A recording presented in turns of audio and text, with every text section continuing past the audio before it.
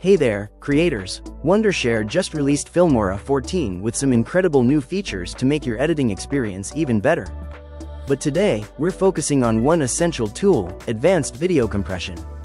This feature helps you reduce file size while maintaining high quality, perfect for saving storage space and ensuring smooth uploads to platforms like YouTube, Instagram, and more. Want to learn how? Keep watching. Before we begin, if you haven't already installed Wondershare Filmora 14, visit the official website, download the latest version, and install it on your computer. Also, don't forget to subscribe to our channel and hit the bell icon so you never miss an update.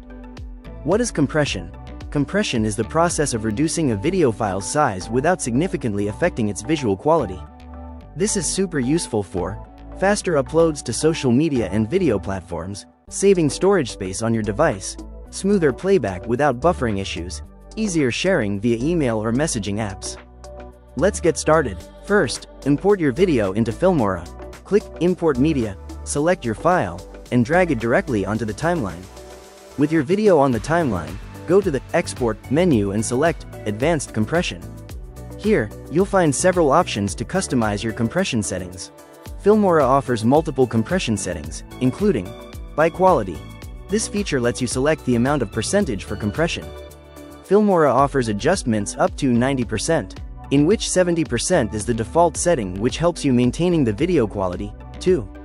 YouTube Upload. This amazing compression feature allows you to upload high-quality, blur-free videos to YouTube with just one click. Once you're satisfied, click Export, choose the destination folder, and save your compressed video, and that's it. With Filmora 14's advanced video compressor, you can easily reduce file sizes while keeping your content crisp and clear. If you found this tutorial helpful, don't forget to like, leave a comment with any questions, and subscribe for more Filmora tips and tricks.